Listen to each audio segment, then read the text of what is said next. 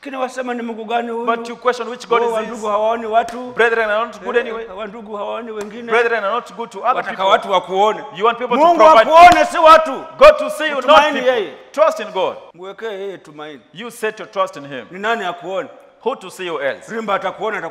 Rimba will see what will he give unto you. kitu gani yeye cha kukufaa What does he have to give unto mlalahoi kama wewe And is destitute like you. amemwekea mungu tumaini He had trusted in God. Ni- nikufae mimi nitakufanya I benefit you with what? Haleluya Hallelujah. mimi nakwambia ya mungu I tell you the word of God. hayo. When you keep them, ufikie kwa mema yake you attain your good things. amen Amen. na anayemtumaini mungu And one trusting ni God muombaji is prayerful, si wa usingizi mwingi sayo not sleepy every day. Tunasema maskini huyu The alimwomba bwana this poor man cried to na the Lord, bwana akasikia kilio chake and the Lord heard his cry. Hallelujah. Hallelujah. wekeni tumaini kwa mungu Trust in God.